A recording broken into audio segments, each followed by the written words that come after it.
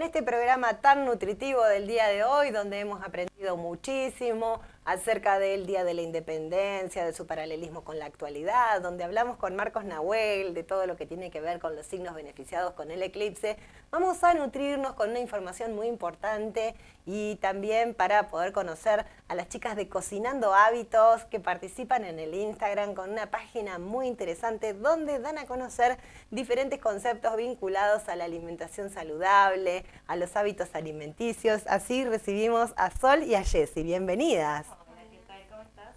Muy bien, muy contenta de recibirlas y también felicitarlas por el hermoso trabajo que están realizando en las redes sociales.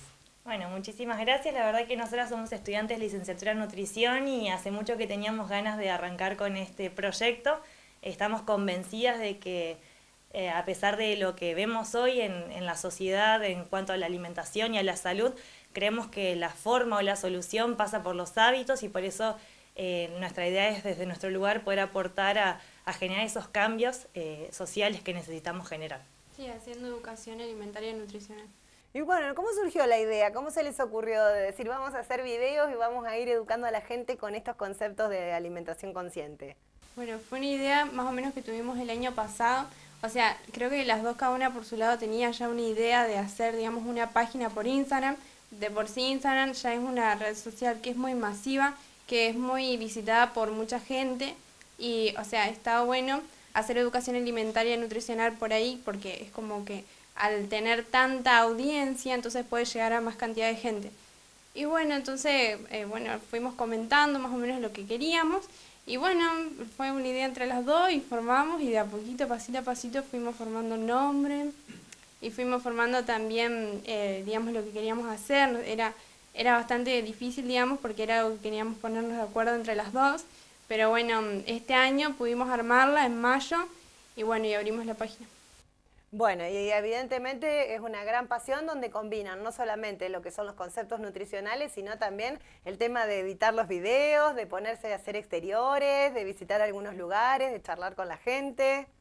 Sí, la verdad que también fue un, digamos, un nuevo proyecto en todo sentido, desde cómo se organiza, cómo se edita, un montón de cosas que ni imaginamos que, que estaban por detrás pero la verdad que súper felices porque, bueno, como te decíamos al principio, realmente consideramos que la educación es la manera y esta es una gran herramienta que se nos abre para poder hacer educación.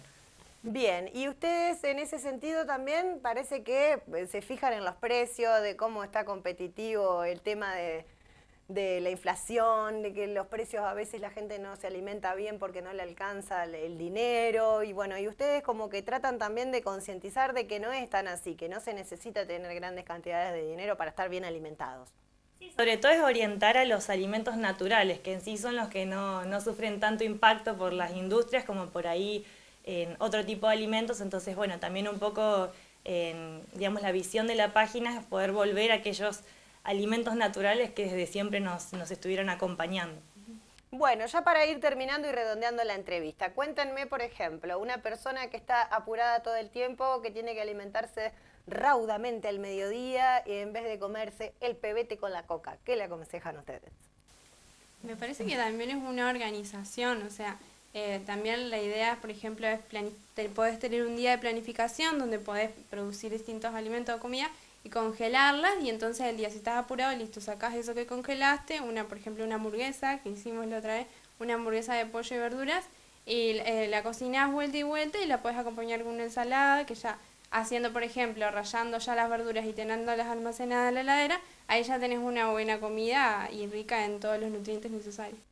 Bueno, muy importante entonces la optimización del tiempo y de poder tener una previsión en cuanto a la alimentación, porque eso después tiene que ver con el funcionamiento de todo el organismo durante lo largo del día. Claro, es como en cualquier área de, tu vida. Para optimizar cualquier recurso que tengas, siempre es clave la organización y la planificación. Por eso también es re importante que así como decidimos organizar un montón de áreas de nuestra vida, que la alimentación sea un área también que tengamos que organizar y planificar. Bueno, perfecto. Aquí desde Retratos Urbanos ya saben que tienen las puertas abiertas para poder informar y para poder participar con todo aquello que necesiten, porque una de nuestras premisas justamente es aportar un granito de arena para que el televidente que está del otro lado pueda mejorar sus hábitos y por supuesto obtener mayor bienestar. Muchísimas gracias. gracias.